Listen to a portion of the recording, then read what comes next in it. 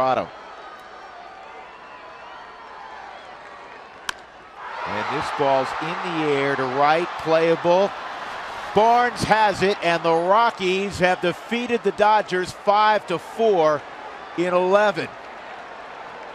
And LaTroy Hawkins breathes a sigh of relief. He gave up the two run home run to Adrian Gonzalez. Barnes, fitting that he would catch the final out because he got the three run rally going in the 11th off the Rockies bench. And a big hit opposite field over the head of Puig.